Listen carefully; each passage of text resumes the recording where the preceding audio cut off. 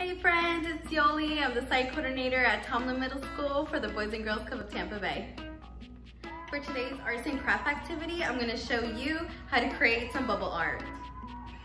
So let me show you what materials we'll need for this craft. You're gonna need some water, you're gonna need some paint. This paint right here is tempera paint. This works perfect for this craft.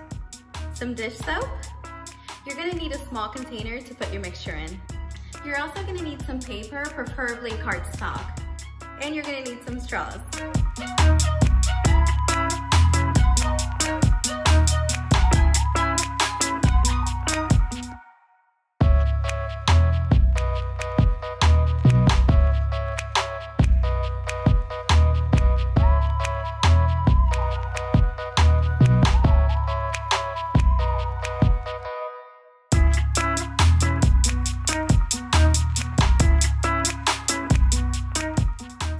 To create the bubbles, we're gonna blow into the straw and the mixture is gonna cause the bubbles because of the dish soap that we put in. So let's try it.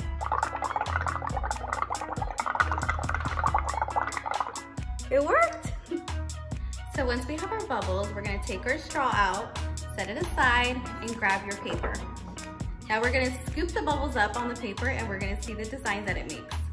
So scoop it up, so once all the bubbles have popped on their own, this is the design that it'll make. Pretty cool, huh?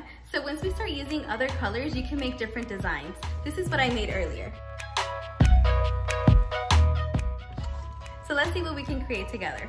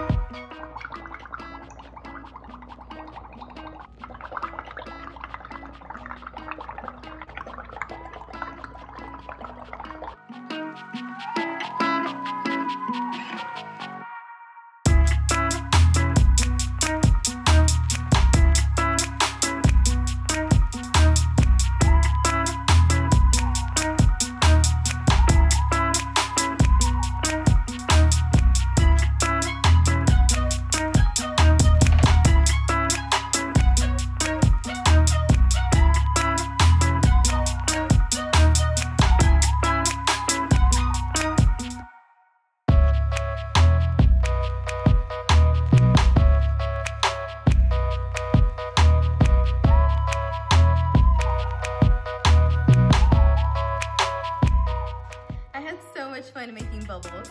Look at some of the patterns that I made. This is my favorite one.